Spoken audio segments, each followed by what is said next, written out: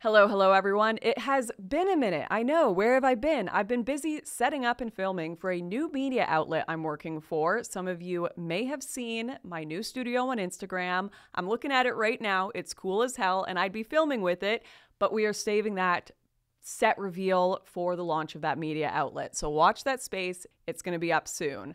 But first, I'm here to give you an update on the hell world that is Canada around me because honestly, Things are in such a steep decline that I want to ensure all of my viewers are given a fair warning about where we're headed before we go straight off the cliff. And I don't know if a month or two can really wait for this. Not too long ago, I stumbled onto a certain subreddit dedicated to discussing what many people see as the complete failure of the land of maple syrup and snows housing market called Canada Housing 2. Canada Housing 2, you might think to yourself, what happened to Canada Housing 1? I'd give you three guesses, but this is Reddit after all, a major big tech platform, so it's the most obvious answer. Any discussion of the real causes of our major problems are essentially socially illegal to point out, and you've got it.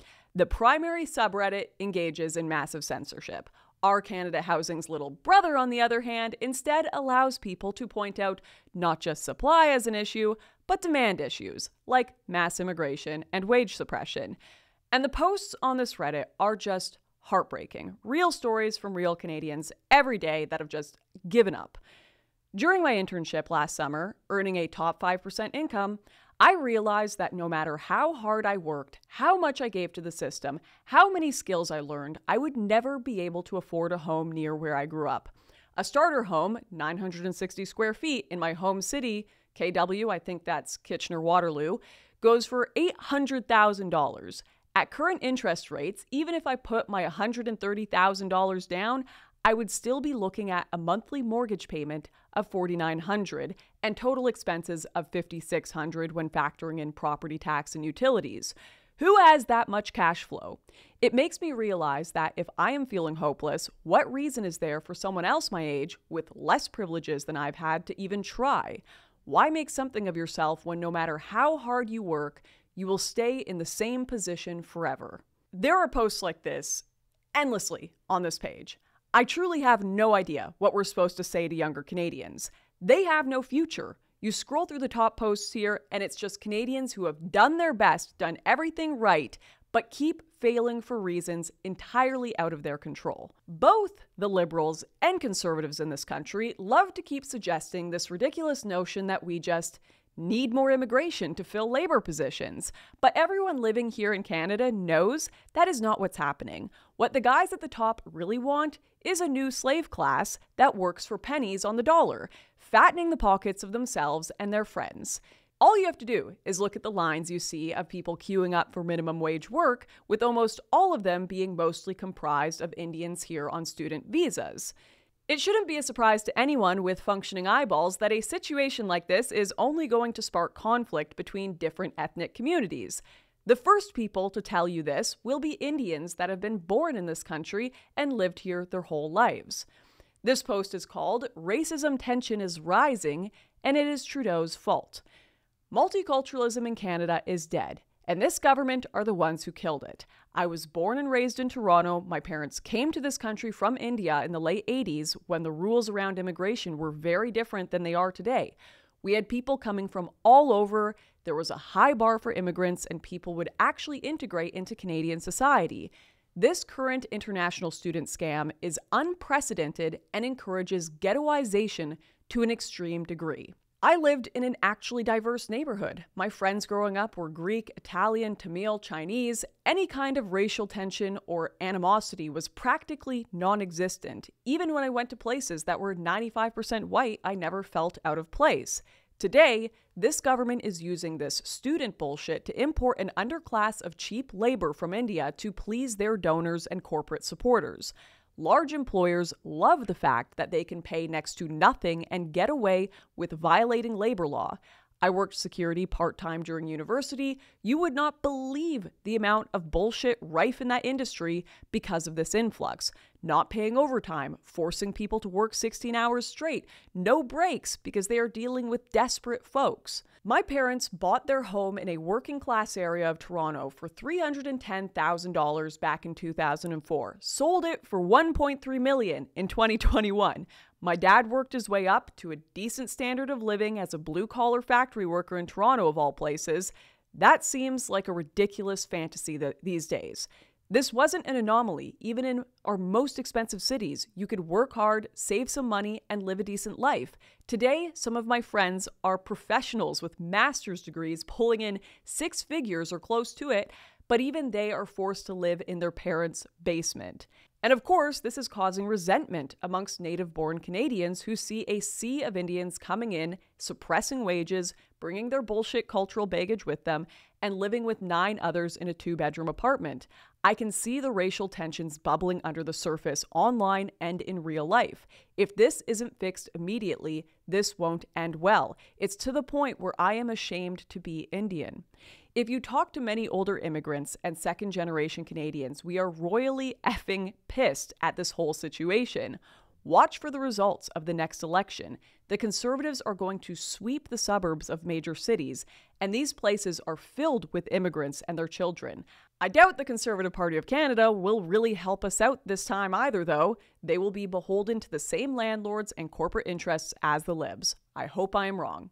Apart from the corporations and politicians they're sponsoring who love to continue pushing down wages, nobody benefits, including those who have made the trip over for a better life. I will be paying almost $20,000 in taxes annually, can't buy a car because then I will have to say goodbye to any kind of savings, and forget buying a home because anything habitable is close to 700,000 plus, for which I will basically be a wage slave till my last breath. I came from India two years back with high hopes to start a fresh new future here and contribute to a flourishing and diverse economy.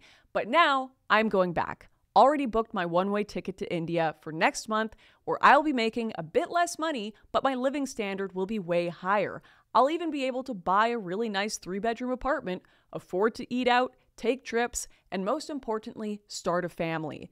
The new Canadian dream is waking up with the realization that it was just a dream. Once again, you'll see endless posts like this. So many immigrants are realizing the Canadian dream is dead and are no longer bothering to even seek Canadian citizenship. But of course, nothing good ever happens. We aren't going to see a population reduction and house price dips again and wage growth as immigrants return home because the government is still pumping so many people through their non existent border at such an incredibly extreme rate. I don't even mean by something like you know, a 10% increase per year.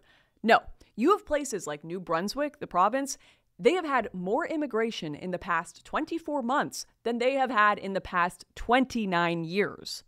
Coincidentally, their rent prices have also skyrocketed as well. Huh. Surely this has nothing to do with each other. Surely the drastic increase in demand has nothing to do with the increase in rent. This same pattern is replicating itself all across the country. And I actually think Trudeau is starting to panic himself. Like, if you check out his X timeline, Twitter, whatever, uh, right now, every single day, his posts are almost exclusively about how he is desperately trying to fix the food prices and the housing crisis. It's bad. Like, I'm telling you, everyone I know, rich or not, are struggling here right now. The fact that politicians are even talking about it and trying to address it tells you they're stressing, they're feeling it. Yet everything he says, once again, is just a band aid on a bursting dam, because as a good little globalist and neoliberal puppet, he doesn't want to touch the sacred cow that is mass immigration. Even the conservatives think you can fix a demand issue by simply building more houses, the supply, as if that does anything for the wider infrastructure that's put, put under stress, anyways. I mean, hell, when Justin decides to create new subsidized housing initiatives in certain towns, he's not even meeting the demand of the new immigration coming in, let alone the existing demand.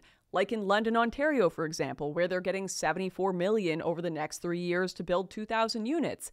Each year, 4,000 new people arrive to that area. Across the country, he's announced 100,000 new homes over the next 3 years. 500,000 people enter each year right now. Even a first grader could do the math on this. Quite frankly, the fifth graders, the five year olds, could do this math a whole lot better than our current regime, I think.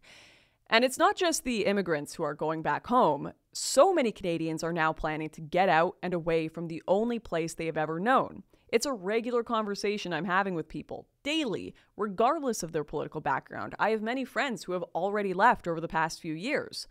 And while 99% of these problems we have have been caused by this country being subjected to the rule of an insane liberal government my entire adult life, unfortunately, I really do believe that many Canadians will now swing even further left as a result. To quote Jreg, when there's a financial collapse, you either go commie or you go fash. And I'm thinking we're going to see a commie revolt, if anything, simply because there's no housing. And there's probably a ton of resentment bubbling up against the property owning class. This wouldn't exist if we just had reasonable levels of immigration. I'm not even saying get rid of it all. I'm just saying, like, sane, just sane levels. This wouldn't exist if we had an actual free market and not people being taxed 40% of their income. But no, Instead, Canada is being run into the ground by a petty little tyrant and a ruling class unwilling to let the bubble they've created burst, and instead feel they can keep passing the buck off onto the next generation. Well, it looks like it's finally coming to a head. Congratulations, uh, Gen Z and millennials. You lost the game of uh, musical chairs for the, the buck. and honestly, I gotta say, um, I, I overlooked this. I spent a ton of my time back in 2016 traveling the world, telling all about the problems going on everywhere else, the immigration going on in Europe, whatever. And I kind of regret not realizing that most of the battle was going on on my own front door, that it was this drastic at home. So if you're Canadian, all I can say is be prepared. I'm not here to sell you false hope. I want to give you real options so make your situation and your family as safe as possible as things start to decline. You know, look around you, see where the best spot to live is. Maybe don't be in the cities. Maybe look if you can get out. I don't know. I'm not saying abandon ship. I'm just saying be prepared for things to get a little crazy in the future. And good luck to you all. Anyways, I appreciate you all letting me get that off my chest. Uh, I- have been just seeing so much of this go around, you know, all around me every single day. There, there's so many pressures going on for the Canadian populace, and I don't doubt we are the model for what's going to happen in America as well. So be paying attention to this over there. And yeah, um, this was just a little update video, but I will be seeing you guys very shortly with the new media outlet that I will announce both on this YouTube channel and on my Twitter. So make sure you're following those, hit all those bells, whistles, and buttons on here, and let me know your thoughts in the comment section. If you have your own thoughts, maybe go subscribe to Canada Housing 2 and vent there. It's a great place for at least a sense of community and some people talking about what can be done about this all. I appreciate you all so much, and I'll see you again soon.